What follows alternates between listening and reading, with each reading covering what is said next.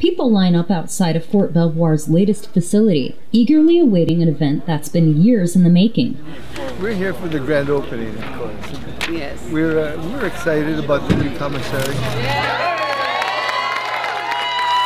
The new commissary boasts 50% more square footage than its predecessor, as well as an exclusive healthy living section which focuses on natural and organic products. There's more space, there are open uh, aisles, are more selections, a wide variety of selections, and uh, as always, the quality just is outstanding.